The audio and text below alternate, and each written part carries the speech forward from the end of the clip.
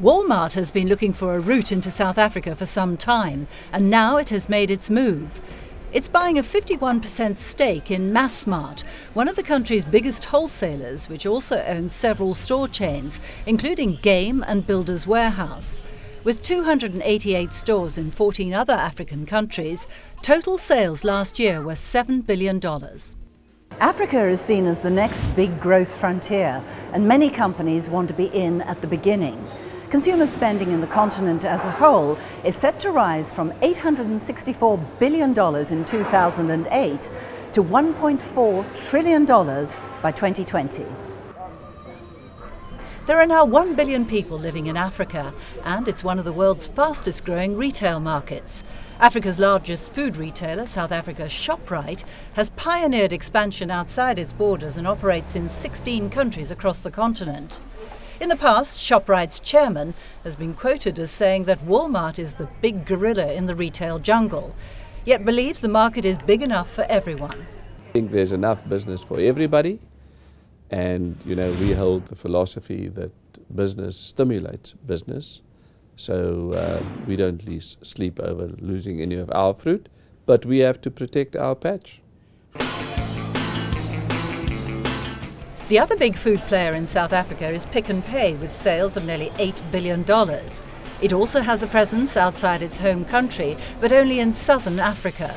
Former chairman Raymond Ackerman is seen as one of the gurus of South African food retailing and had seen an outside approach coming. Well, they were looking at South Africa for about a year. We were one of the people they spoke to, plus the other retail chains. We were expecting it. I'm not particularly happy about it personally, but that's a selfish attitude because we're going to have to fight even harder than we've had to fight to build our company. But I think it's a good for the good for the country. And indeed, Walmart's advance has accelerated the streamlining of Pick n Pay's own business. We, we've always said to ourselves that we want to be world class long before Walmart came in. But there's no question when there's a threat like this, um, we, we, we're working very actively on getting our distribution better than it was with central warehousing, which we had planned. We're now advancing it. And uh, we're doing a lot of things that we possibly would have waited for a couple of years. It's not only the big players that will be affected and who'll change their strategies. Cape Union Mart has 100 stores in South Africa selling general clothing and camping goods. Walmart is very strong in those areas. So Walmart will be the lowest cost producer or importer. There's no question about that. We're not going to play in that space. We're going to move up the technical ladder. We're going to try and enhance our products with greater added value, greater technical features, and hopefully use our smallness to be able to carve out a particular niche in the market. That's what we're going to do. That's survival. The trade unions aren't happy with Walmart entering the South African market. The Congress of South African Trade Unions says that they're very concerned not just from the workers' point of view, but also about Walmart's procurement policies and its effects on local manufacturers. On the food side, where Walmart, Massmart is not that powerful, um, very little food is imported into this country.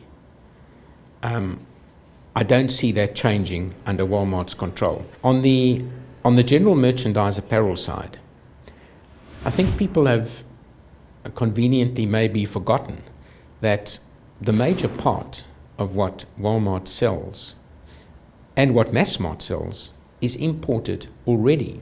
You know, they always say that what made America great were the two words, you're fired. That doesn't apply in South Africa. In South Africa, it's a much more caring community. I think the unions have got to change their attitude and Walmart have got, have got to change theirs when they come here. And I believe Walmart are flexible enough, and they've changed their attitude in quite a few countries towards unions. They're not just anti-union. But how great a prize is Massmart's portfolio of shops outside Africa for Walmart in the short term? Massmart is 92% South Africa and 8% in the rest of Africa. I have no doubt that Walmart did not buy Massmart for the 8%. The first target is the 92%. And there are huge opportunities for them to, to grow their business in South Africa in various fields. The 8% to me is the cherry on top of the tree. Although the rest of Africa has great growth potential, problems of infrastructure, distribution, and the supply chain will take some time and money to sort out. Africa is not for sissies. Um, it's a very interesting business environment, and um, certainly there are great opportunities and there are great threats as well. It is difficult. Uh, there's a lot of catch up to be done in terms of infrastructure development, in terms of having access to trained staff to uh, work in one's businesses. There's a lot of really hard work to be done.